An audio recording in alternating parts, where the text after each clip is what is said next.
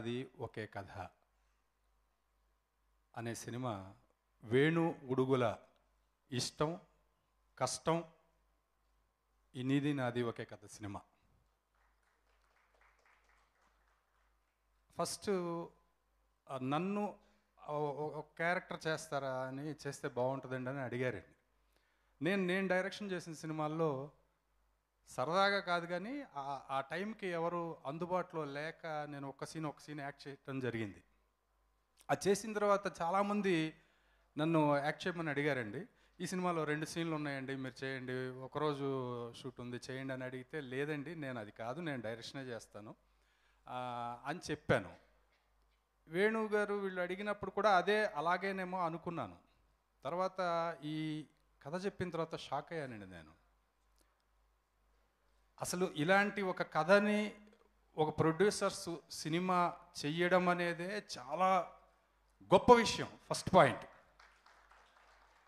అటువంటిది ఇలాంటి కథ చేయడం వాళ్ళు చేయాలంటే వాళ్ళకి ఎంతో ప్యాషన్ ఉంటే కానీ ఇలాంటి కథలు సినిమా చేయరండి ప్రొడ్యూసర్స్. దానికి ముందుగా నారా రోహిత్ గారిని విజయ్ గారిని ప్రశాంత్ గారిని వీళ్ళందరినీ తప్పకుండా మంచి అభిరుచి ఉన్న ప్రేక్షకులు అందరూ కూడా అభినందించి తీరాలి. ఫస్ట్ పాయింట్ తర్వాత కథ చెప్పారండి. కథ చెప్పినప్పుడు ఇదేంటి?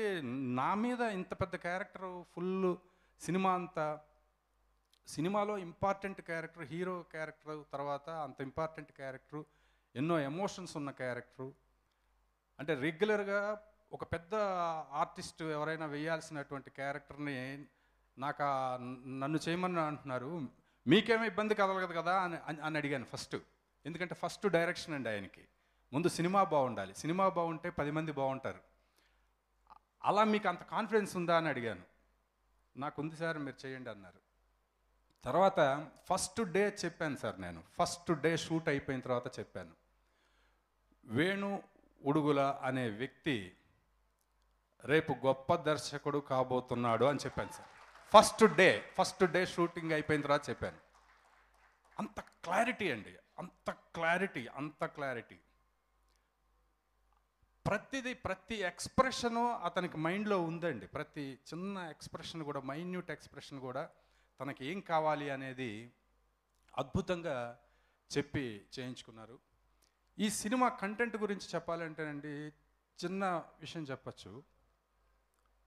ఒక మనిషి హ్యాపీగా నిద్రపోవాలి అనుకొని తెల్లవారే వరకు కూడా పక్క సర్దుకుంటూనే ఉన్నాడు అనుకోండి వాడు ఎప్పుడు నిద్రపోతాడు? వాడు తెల్లవారిపోయింది పనికి వెళ్ళిపోవాలి వాడు. కానీ ప్రశాంతంగా హాయిగా నిద్రపోవాలి అనుకొని తెల్లవారే వరకు పక్క సర్దుతూనే ఉన్నాడు వాడు. వాడికి ఎప్పుడు నిద్రపోతాడు? అలాగే ఎప్పుడో ఒక శాంతి వస్తుంది అనే దానికోసం చచ్చే వరకు యుద్ధం చేసేవాడికి ఎప్పుడు మనశ్శాంతి ఉంటుంది? ఉండదండి. అంటే మనిషి జీవితంలో నీకు అద్భుతమైన క్షణాలు ఎప్పుడు అంటే ఇప్పుడు అని చెప్పగలిగే వాడే వాడు జీవితంలో ప్రతి క్షణాన్ని ఆస్వాదిస్తాడు. అలా ఆస్వాదించాలి ప్రతి క్షణాన్ని అని చెప్పే సినిమానే నిధి నాది ఒకే కథ. ఇలాంటి ఒక ఒక థాట్ చెప్పడం అనేది అది చాలా గొప్ప విషయం అండి అసలు.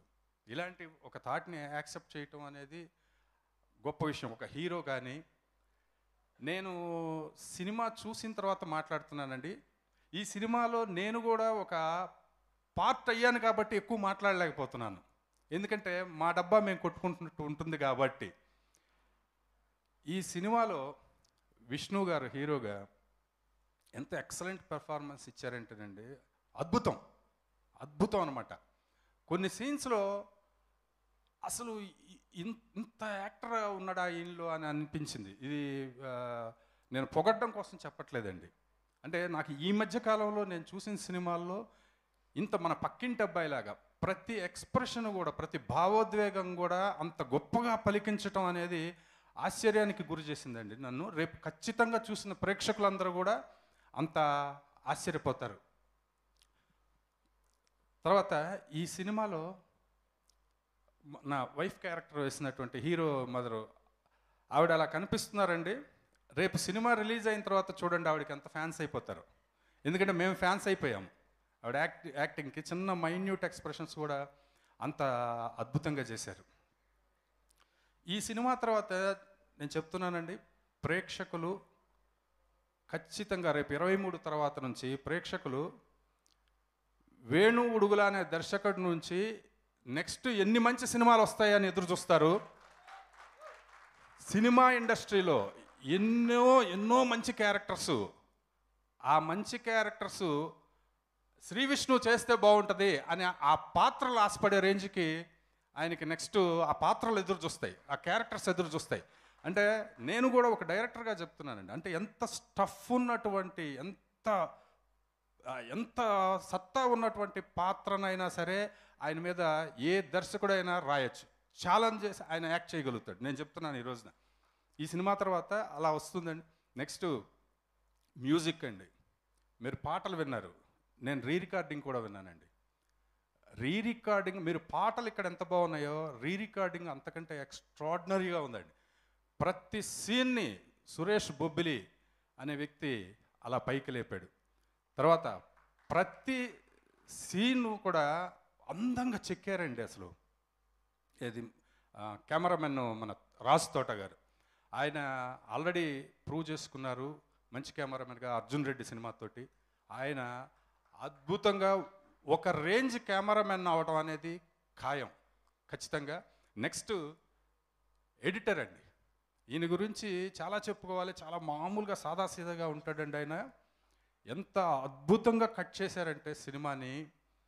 ఆయనకి ఫస్ట్ పిక్చర్ అంటే ఎవరు నమ్మరండి. ఎందుకంటే ఇది ఆడియన్స్కి తెలియకపోవచ్చు కానీ సినిమా ఇండస్ట్రీలో ఉన్న ప్రతి టెక్నీషియను సరే డైరెక్టర్ గురించి సినిమా చూసిన తర్వాత ఎక్కడో ఉంటుంది ఆ థాట్ హీరో గురించి ఎక్కడో ఉంటుంది.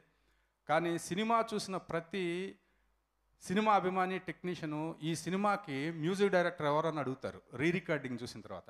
ఈ సినిమాకి కెమెరామ్యాన్ ఎవరైనా అడుగుతారు. ఈ సినిమాకి ఎడిటర్ ఎవరైనా అడుగుతారండి. ఖచ్చితంగా ఇది మీరు రేపు చూడండి. ప్రతి సినిమా ప్రేముడు ప్రేమికుడికి కూడా ఇది అద్భుతంగా నచ్చే సినిమా అవుతుంది. తర్వాత ఇంకొక గొప్ప ఇంకొక నేను అభినందనలు తెలియజేయాల్సిన వ్యక్తి కో డైరెక్టర్ ఉమేష్ అండి. నేను ఈ రోజున ఈ సినిమాలో ఇంత మంచి పాత్ర చేయడానికి డైరెక్టర్ వేణు గారికి పలానా దేవి ప్రసాద్ అయితే బాగుంటుంది కదండ అని ఆ సజెషన్ ఇచ్చారండి. ఒక ఒక అద్భుతం జరగడానికి పెద్ద పెద్ద అక్కర్లేదండి. ఆ ట్రిగ్గర్ చేసే క్షణం ఉంటుందండి. దానిలో అద్భుతాలు జరిగిపోతాయి. అలాగా సై చేస్తే ఇచ్చేస్తే ఎలా ఉంటుందని చెప్పిన ఉమేష్ కూడా నా ధన్యవాదాలు తెలియజేస్తున్నాను. తర్వాత ఈ సినిమా డైరెక్షన్ టీం అండి బంగారు కొండలండి. ఎందుకంటే నాకు డైరెక్షన్ టీం మీద నాకు ఎప్పుడూ పార్షియాలిటీ ఉంటుంది. నేను కూడా ఒక డైరెక్టర్ని కాబట్టి. ఎంత ప్యాషన్ అండి. నేను ఎంత ముచ్చటపడ్డానంటే వీళ్ళని చూసి నేను మా గురువుగారు కోటిరామకృష్ణ గారి దగ్గర నేను అసిస్టెంట్ డైరెక్టర్గా పనిచేసేటప్పుడు ఆకలి దప్పులు ఏముండేవి కాదండి. రాత్రి పగలు ఎప్పుడు వస్తుందో ఏంటో తెలిసేది కాదు. అలా అలా పనిచేసేవాళ్ళం. అంటే ఇష్టంతో పనిచేసేవాళ్ళం. నన్ను నేను వాళ్ళల్లో నేను చూసుకున్నాను. మన అక్షర కుమార్ కానీ చారి కానీ బల్లెడ కానీ తర్వాత వీళ్ళందరూ కూడా వీళ్ళందరికీ ఈ టీం మొత్తం మీకు రేపు చాలా అద్భుతాలు సృష్టించబోతున్నారు వీళ్ళు. నేను ఈ రోజున చెప్తున్నానండి ఇది.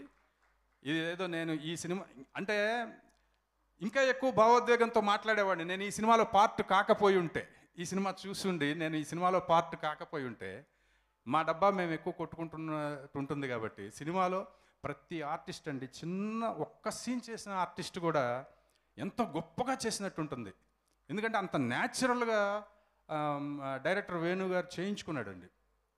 రేపు డెఫినెట్గా అందరికీ బాగుంటుందండి. ఇప్పటివరకు ఇంకొక ముఖ్యమైన విషయం ఏంటంటే సినిమాలో జీరో నుంచి ఒక వ్యక్తి జీరో స్థాయి నుంచి హీరో స్థాయికి ఎదిగే కథలు ఎప్పుడు కూడా సూపర్ హిట్ అయ్యాయండి. అదొక సక్సెస్ఫుల్ ఫార్ములా. అది అందరూ చేశారు. కానీ వేణు ఉడుగుల చేసిన ఒక చిన్న జిమ్మిక్ ఏంటంటే అండి జీరో టు హీరో అయ్యేవాళ్ళు ఈ సొసైటీలో పది శాతం మాత్రమే ఉంటారండి. తన ఆ యాంగిల్కి వెళ్ళలేదు. ఈ జీరో టు హీరో అవ్వకుండా ఈ మిగిలిపోయిన ఈ తొంభై శాతం మందికి ప్రతినిధిగా హీరో క్యారెక్టర్ని సృష్టించడం అనేదే ఇది ఆడియన్స్కి ఖచ్చితంగా రీచ్ అవుతుంది అనేది. ఎందుకంటే ఎప్పుడు అచీవ్ చేసేవాళ్ళు క్లాస్లో ఫస్ట్ సెకండ్ థర్డ్ వచ్చేవాళ్ళు ముగ్గురే ఉంటారండి. మిగతా విద్యార్థులందరూ వె- వెధవలు కాదు కదా. వాళ్ళల్లో ఎంతో గొప్పవాళ్ళు అయ్యేవాళ్ళు ఉంటారు. ఆ యాంగిల్ తీసుకొని చెప్పడం అనేది నాకు అద్భుతంగా నచ్చినటువంటి విషయం. వీళ్ళందరికీ నన్ను కూడా ఇందులో పార్ట్ చేసినందుకు వీళ్ళందరికీ ధన్యవాదాలు తెలియజేస్తూ ఎక్కువగా మాట్లాడి ఉంటే క్షమించమని కోరుతూ సెలవు తీసుకుంటున్నాను. Thank you. Thank you sir ఒక డైరెక్టర్గానే కాకుండా ఒక యాక్టర్గా కూడా ఈ సినిమాలో మీరు ఉన్నారు కాబట్టి అంతగా కనెక్ట్ అయ్యి అంతగా ఇమోషనల్గా మాట్లాడారు. Thank you so much for all your inputs